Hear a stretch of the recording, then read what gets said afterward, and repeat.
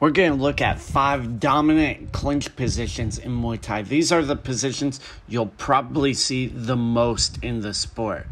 So let's get started with the first, the neck lock. This is your basic Muay Thai lock. This is what everyone thinks of when they think of the Muay Thai clinch and the Muay Thai uh, lock. This lock is basically about who has dominant position around the neck. Uh, you see red corner getting a nice lock around the head, clasping the hands together. There's different types of locks as well. Sometimes they will lock onto the wrist, sometimes onto the hand themselves. And then you see blue stalling.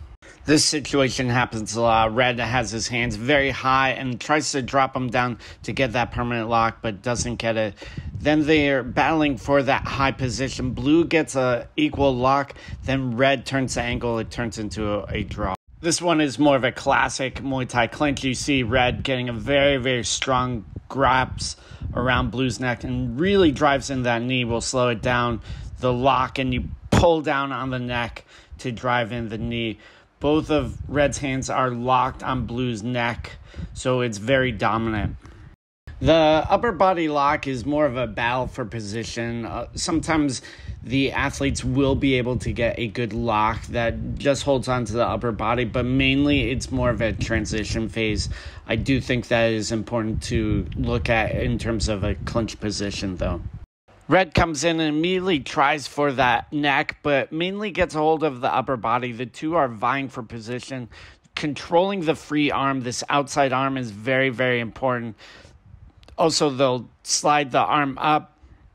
And blue momentarily has position and knees. We're going to replay that again slower. You see that classic lock there, and then the successful knee. Red immediately goes for the neck, but has to settle for that upper body, tying up the blue's arm, trapping it for a moment. Then again, just vying for that neck, but mainly holding onto that upper body. This one is a very good lock. It's on the outside of the clinch position.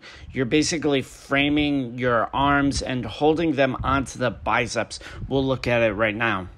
Red comes forward and locks onto the forearms of Blue, just framing there, locking onto them and striking to the knees. He's opening up space for elbows as well. Again, move forward, immediately lock onto the forearms and start striking to the body, trying to shift up, but really locking primarily onto the forearms, clinching into the inside of the elbows. This next position creates an open side, and then a lot of times the head is pushed down towards that open side. We'll see it with Muay Thai. So blue corner moves in and immediately grabs, and you see him pressing the face and then trapping and bracing that free arm to create op- an open side and kicking on the way out. Then again, pressing the face down towards that open side and elbowing his way out. The last one, he creates this open side and braces the arm holding onto it. The body lock is very effective at stalling. A lot of times, if you are grabbing the lower part of the body, the referee will break it and will call it a foul, especially if you're trying to break the lower back. But in these examples, neither athlete does. Blue comes in. He's going to grab right under the armpits and lean his upper body in. Red is going to drop his weight to prevent the knees. He also uses his hands a little bit. But you see, primarily, especially in this clip, Blue is heavy with the upper body and then strikes to the lower body primarily with those knees. And Red controls the arms. So in this one, red grabs low, but doesn't back break, doesn't break that lower back, and continues to knee. They're able, red is able to get space to get knees up the middle, but mainly to the side. In the second clip, you see him trying to go for the side. Blue is effective with jogging and preventing those knees from effectively landing.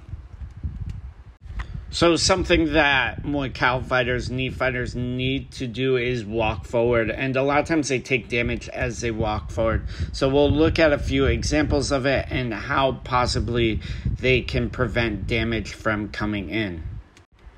So red comes in and very easily is damage that push kick to the face and other attacks, then they'll alter their steps. Sometimes they'll rush in to get in, uh, hide behind push kicks or other weapons. A lot of times the rhythm is very easy to see for the person on the back foot. So they'll be taking a lot of shots as they come in